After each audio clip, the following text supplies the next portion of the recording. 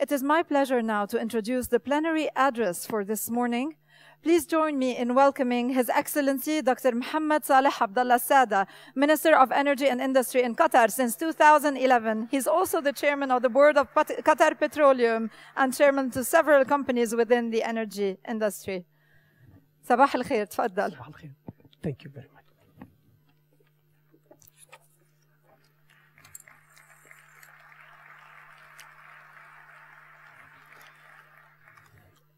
Bismillah ar-Rahman ar-Rahim.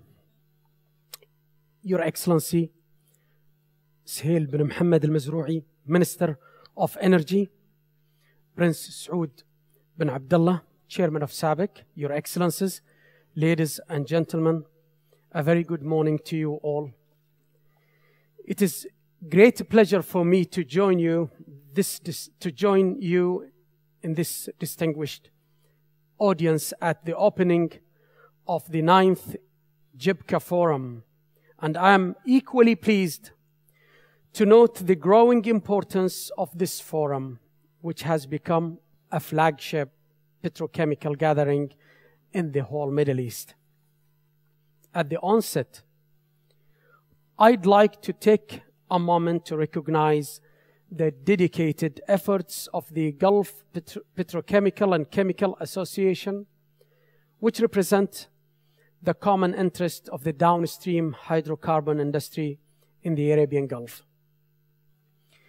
This is clearly reflected by the association's amazing growth in membership, which today includes the manufacturers of almost 95% of the Gulf region's total petrochemical outputs. I'm confident that under the leadership of uh, the chairman Muhammad Al-Madi and the Secretary General Abdul Wahab Al-Sadoun, GPCA will continue to move forward in its mission to support the growth and sustainable development of petrochemicals and chemicals industry in the Gulf. Ladies and gentlemen, this year's conference is focused on the strategic direction of the chemical industry. The significance of this theme is elevated and amplified by the nature and the size of Gulf investments in the petrochemical industry and its efforts to utilize hydrocarbon resources and create added value.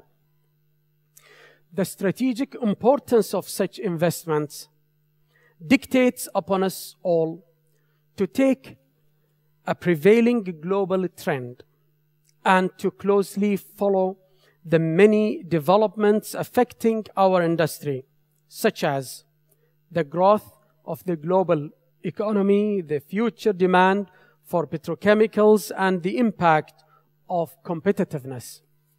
However, there are three significant developments that can be certainly influence the that can certainly influence the strategic direction of the petrochemical and chemical industry in the coming years. The first such development is the price of oil. As we have all seen in the past few weeks, oil prices have reached their lowest levels in more than four years, causing concerns that current and future petrochemical prices could be impacted as a result. Therefore, downstream project economies are expected to be re-examined and reassessed, particularly as prices continue to fall and as the future forecast expects a new chapter in its history and the history of oil prices. Another important development is the impact of US shale gas on the petrochemical industry and on the competitiveness of our region's petrochemical products. US shale gas has already changed the long-term outlook for the United States and the global gas market. It has placed downward pressure on domestic gas prices, consequently reviving the American petrochemical industry. And finally, one must not forget the potential impact of China's coal based polyethylene, which could boost its plastic industry and could become a relatively low cost alternative to products from our regions or those produced using North American shale gas. There is no doubt that these three main developments could pose a serious challenge to our region's petrochemical and chemical industry and may affect its competitive edge as a result. Therefore, it is vital for this leading forum to consider these developments with an eye to safeguarding the region's industry and the common interest of all its components and stakeholders. Furthermore, there is a growing need to place a great emphasis on developing the GCC's innovative capabilities in order to stimulate and revi revitalize our industry's competitiveness in light of these challenges. In this context, I'd like to highlight one important fact. In 2012, our industry has invested some $380 million on R&D initiatives, which constitutes a 30% increase over 2011. It is true that this growth percentage is higher than the 10% global average R&D expenditure. But is it all going in the right direction? Our region, region's spending is less than 1% of the global industry total, while our patents are only 0.4% of the global total.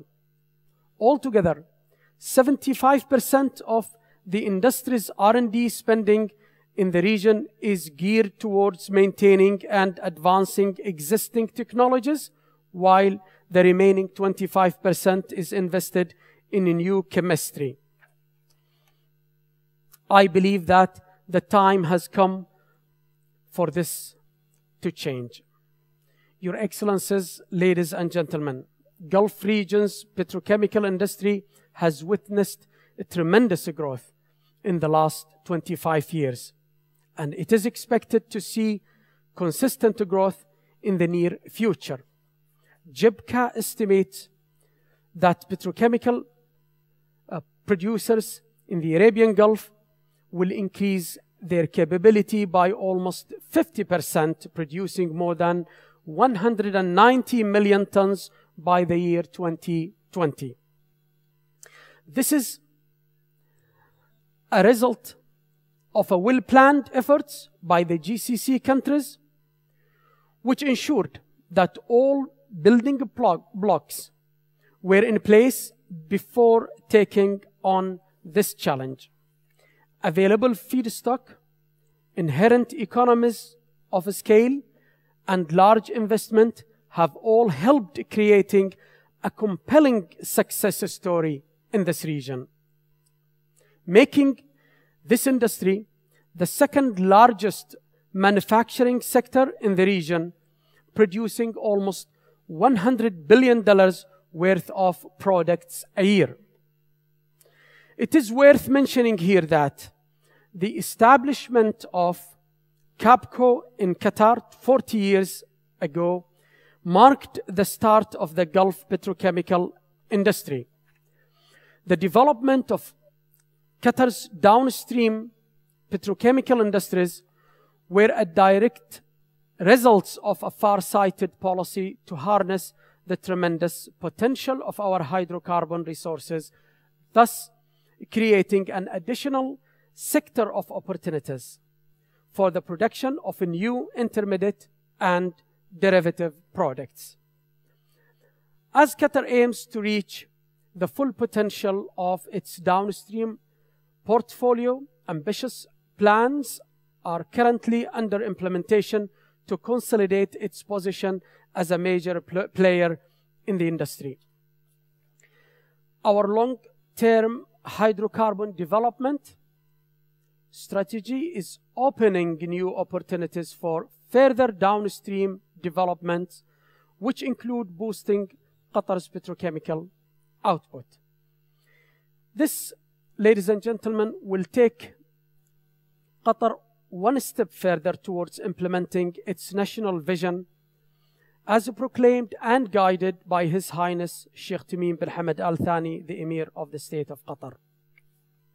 In conclusion, ladies and gentlemen, I'd like to stress that our region will continue to be a dominant force in the production of petrochemicals. We need to ca capitalize on existing opportunities by leveraging our technical expertise, expanding our global footprint, and taking hold of our commercial advantages. We also need to tackle other issues like global trends affecting the use of petrochemical products, the pursuit of energy efficiency and saving, the development of new sources of feedstock, and the delivery of upcoming projects in the region in a timely and cost-effective manner. Our industry champions gathered here today are more than capable of managing growth and competitiveness of this cyclical industry as it meets the challenges ahead. This forum is indeed the most fitting catalyst for ideas and the facilitator for sharing knowledge and expertise in the quest to explore and assess the strategic direction of the chemical industry. I'd like to thank the Gulf Petrochemicals and Chemical uh, Association for organizing this great event and for giving the opportunity to address the distinguished audience. By, thanking, by thanks, my thanks also go to all those who helped organizing this forum. Thank you for uh, your attention and I wish you all the best.